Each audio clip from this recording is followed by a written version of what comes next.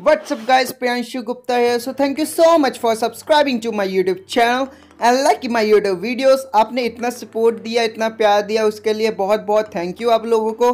सो so gas हमारे जो मतलब मोबाइल में बहुत सारी प्रॉब्लम्स आती हैं, बहुत लोग कहते हैं कि यार, जब भी हम कोई गेम खेलते हैं या कोई एप्लीकेशन यूज़ करते हैं बैटरी कई बार ऐसा होता है कि परसेंटेज डाउन होती रहती है और वो बंद ही नहीं होती। लाइक like जैसे अगर मैंने चार्ज किया 83 परसेंट हुई 83 के बाद हर दो सेकंड में उसका एक एक परसेंट कम होने लगता है। उसका मैं रीज़न बता देता हूँ कि अगर आप चार्ज करके मोबाइल को गेम खेलते हो तो उससे क्या होता है? फ्लक्चुएशंस होती हैं। आपको उसको कैसे ठीक करना है, मैं बताने जा रहा हूँ।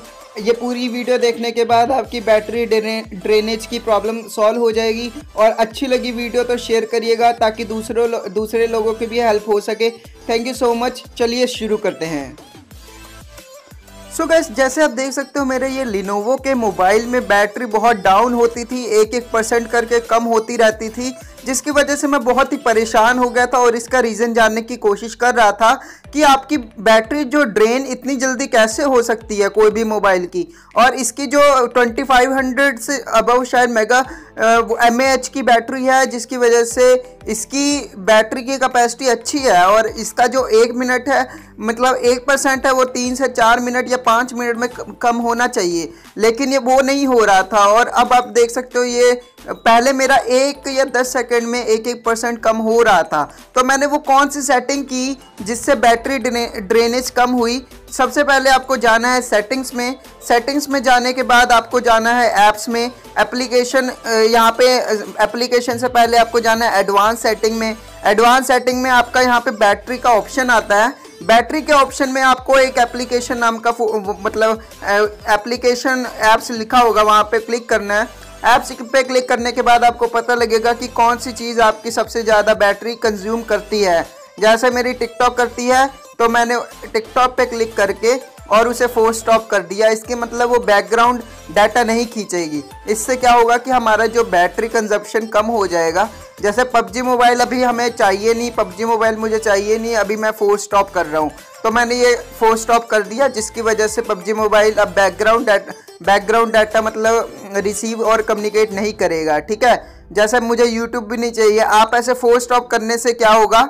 इससे क्या होगा कि जो बैकग्राउंड में सर्विस चल रही होती है, ये सारी सर्विस बैकग्राउंड में चल रही है, सबसे ज़्यादा एंड्रॉयड सिस्टम खींच रहा है, पर एंड्रॉयड सिस्टम को हम बंद नहीं कर सकते।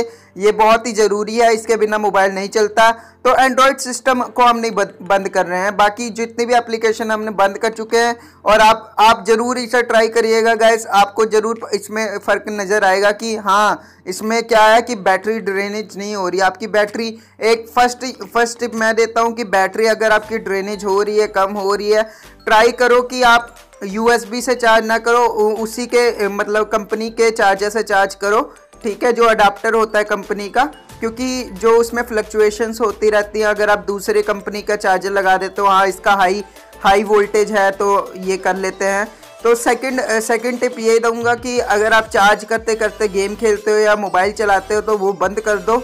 उससे क्या होता है कि इसमें इसमें जो फ्लक्चुएशन होती है बैटरी की चार्ज होता है और डिस्चार्ज होता है, एक टाइम में जो चार्ज और डिस्चार्ज होता है, जिसकी वजह से इसकी बैटरी ख़राब होने लगती है।